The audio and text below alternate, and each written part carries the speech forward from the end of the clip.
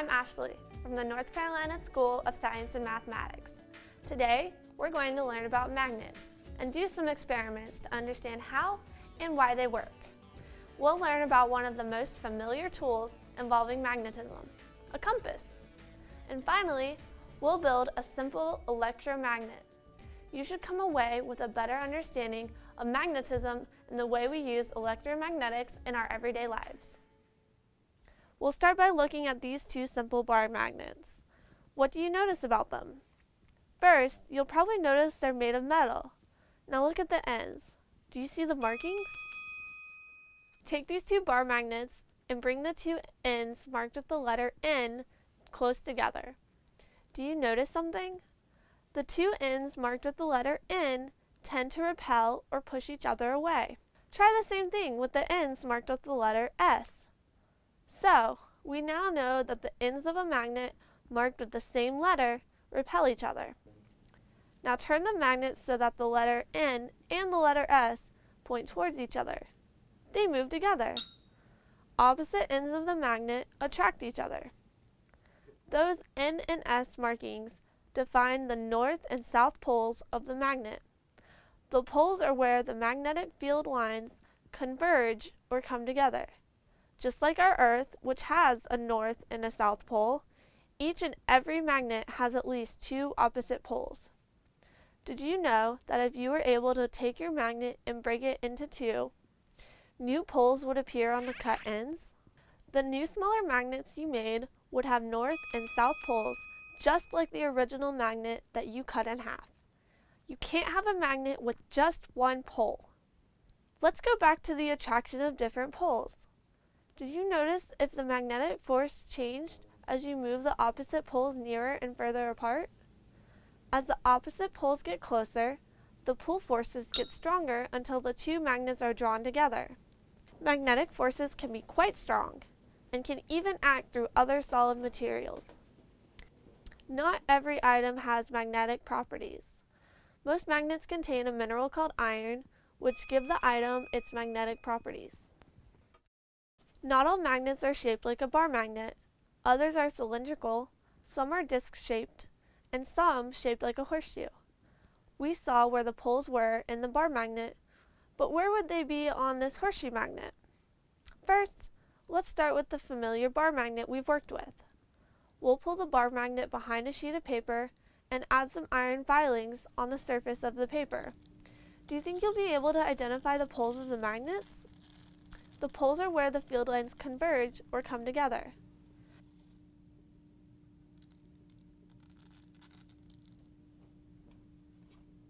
Doing the same experiment with other types of magnets show us where their magnetic poles are located.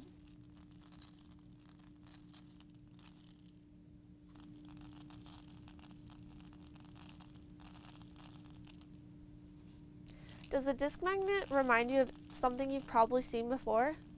It reminds us of the magnetic poles of our own Earth. We're not talking about geographic north and south poles. The Earth rotates once each day around an axis, and at the end of the axis are those geographic poles. The magnetic north and south poles are slightly different than the geographic poles, but we can use a compass to point toward the northern magnetic pole, giving us a general northerly direction. Those magnetic poles are very strong and can aid us in finding directions and travel. Take a look at a magnetic compass. The needle pointer is made out of a magnet that rotates and acts like a pointer. Making sure any other magnets are not close by, move the compass around to get the needle to rotate freely. Rotate one way, then another.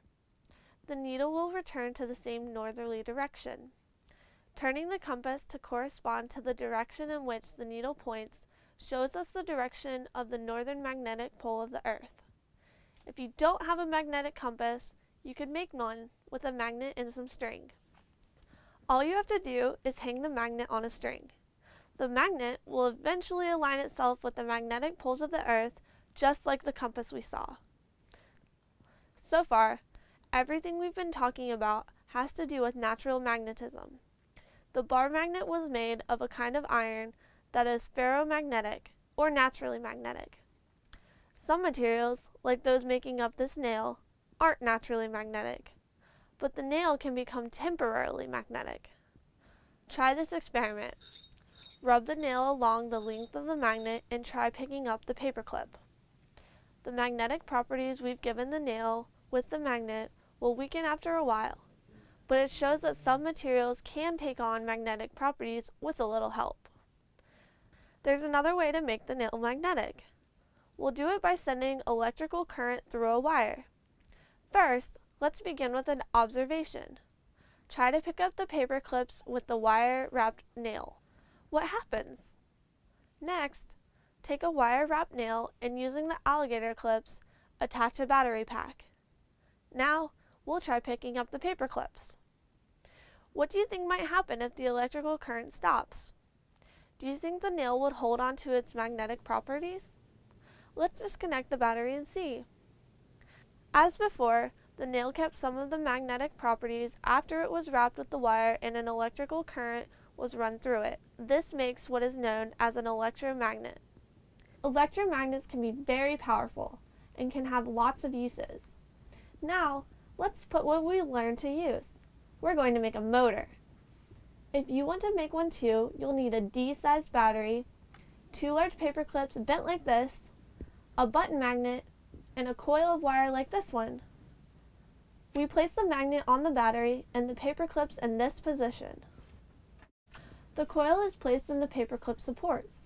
With a bit of finesse, the coil will start rotating, making a simple electric motor.